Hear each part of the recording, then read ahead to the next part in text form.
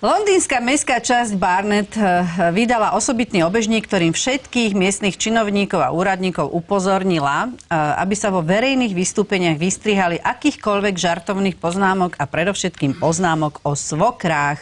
V mestskej časti vraj žije veľa cudzincov, ktorí anglický humor považujú za urážlivý a žarty o svokrách za sexistické dokonca. Tak, Čo ste, aká ja neviem, no ja si pamätám jeden vtip, ako išiel jeden chlapík po ulici a zrazu vidí asi z 8. poschodia takto vysela nejaká žena tak to sa držala a dole stojí jeden chlapík a tak sa díva na ňu a ten prišiel k tomu, prosím vás, čo tu stojíte, prečo nepomáhate, prečo nevoláte policiu, však vidíte, tá žena sa ledva drží a vôbec kto je to? A on mu hovorí, to je moja svokra, no, ale sa drží svinia.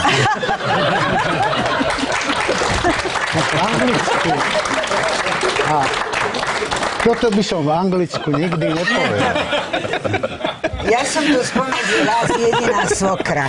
Myslím, že si to uvedomujete. Mm-hmm.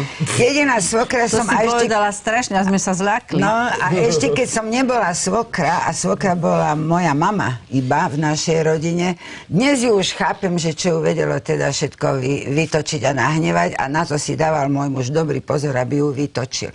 Raz rozprávala, že cez vojnu prišiel chýr, že keď prídu Rusi s frontov, takže tí Rusi znásilňujú.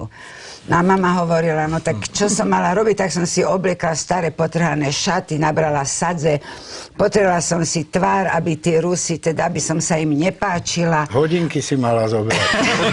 Bol by pokoj. A môj muž povedal, že to hádam nebolo treba.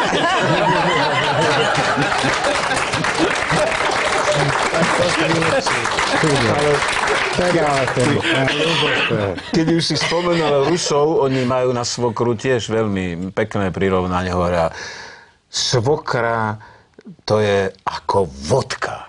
Tiež je najlepšia studia. Ale prepáč, si dosť horúca.